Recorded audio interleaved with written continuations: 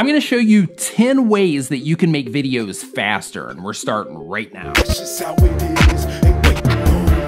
What is going on? My name is Nick. Welcome to another video. If this is your first time here and you want to learn how to grow your channel, make videos, and all types of other YouTube related stuff, start now by subscribing and clicking the bell so you don't miss anything. Okay, as a content creator, you got to make a ton of videos, so it's extremely important that you learn how to speed up that process so that you can become a content producing machine. The tips that I'm getting ready to give you are mine. If you have any additions to this list, please leave them down in the comments below for other people that are going to be watching this this video. Number one, set aside time to brainstorm topics. A lot of creators will say, okay, hey, today is video day. I need to come up with a topic to make a video about. What's it gonna be? And then they just go a video at a time, a day at a time. That is not the best way to do it, and you can cause yourself a lot of stress doing it that way. So if you can put out a block of time in one day out of the month and sit down and write down a big list of video ideas, that is massively going to help you speed up your video creation process. At the very least, try to come up up with two or three video ideas at a time so that the rest of the information that I'm sharing in this video will make sense and it will help you with your workflow of getting all this stuff together faster. Number two is to mass produce your content. This doesn't work for every type of channel out there, but if you're a talking head style channel or a vlogger or something like that, you can make a lot of content in one sitting or in one roaming around if you're a vlogger. But you get what I'm getting at. What I'm trying to express is that if the content that you make allows for it, then making more than one video per session will actually stack up your content so that it kind of relieves that stress and it'll help you make videos faster. Numero trace, three, I think that is. Be or become a collector. What I mean by that is if you are making videos to where you know that, hey, I'm gonna be doing these particular topics from step one,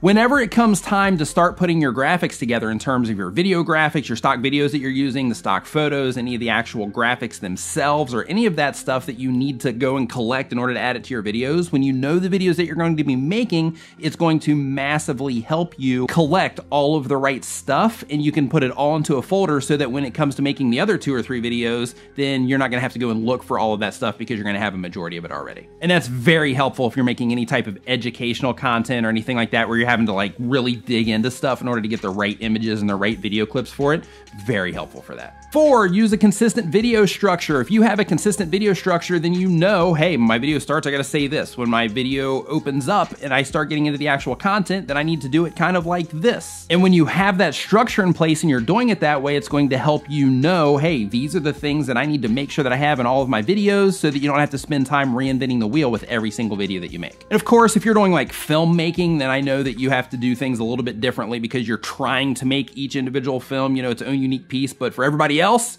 this applies to you. Five, use visual branding. This helps you keep from having to recreate themes for every single video that you make. Here's what I mean. Use the same intro in your videos, use the same lower thirds in your videos, use the same transitions in your videos, the same music if you want to, the same end screens, all of it. Basically get your asset pack together and say, this is the stuff that I'm using in all my videos, and use it in all of your videos. This saves you tons of time in recreating a bunch of stuff to add to your videos. Next up is to organize your workflow here's the thing, and this is why this is so important. That thing that I said in the beginning about making tons of content, the more content that you make, the easier it is to get unorganized. So it's extremely important that you get your folder structure together, that you organize all your video assets, your music, all the stock clips and photos and all that stuff that you're doing. The actual process of, I'm gonna come up with my video idea here, and then I'm gonna do these particular things in order to create the content, and then I'm gonna publish here. When I go through the publish, this is the process that I'm actually going to run through when I'm publishing for, for putting in my descriptions and keywords and all that stuff. Put together that standard operating procedure, and when you do, you're gonna get so familiar with it that it's going to speed up every aspect of what it is that you're doing when it comes to content creation. Next up on the list is to use templates as much as humanly possible. Basically, take your main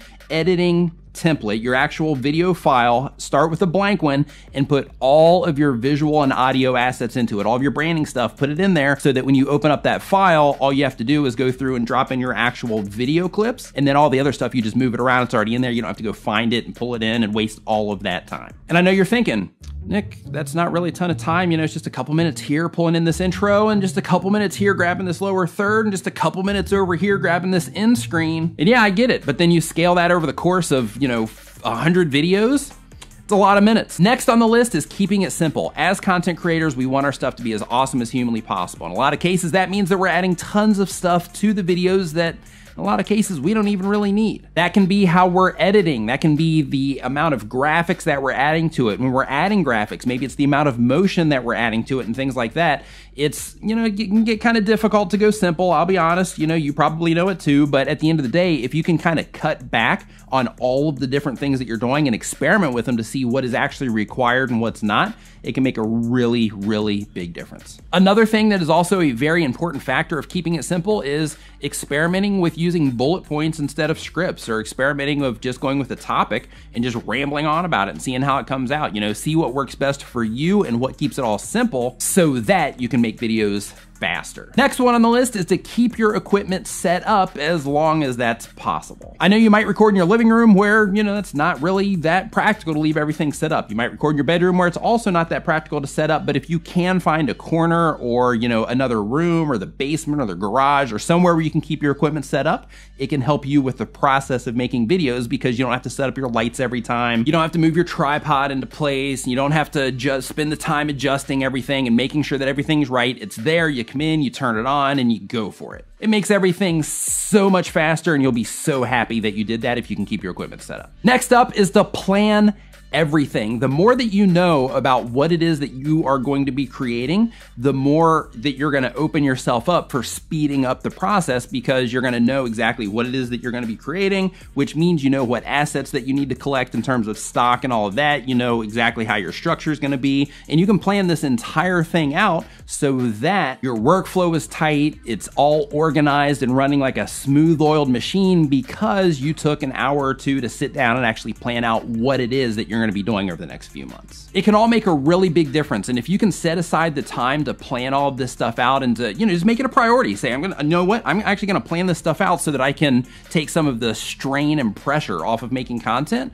It's really going to benefit you long term because this whole video thing, it's a long term commitment. And you can do it no problem at all. So just sit down, get your plan together, figure out what it is that you're gonna be doing, your video structure, how you can keep your gear set up, and all that stuff, and you'll be fine. And if you wanna learn more about growing your channel, making videos, and all types of other YouTube related stuff, start now by hitting the round subscribe icon so you don't miss anything. Thank you so much for watching. I'll see you next time.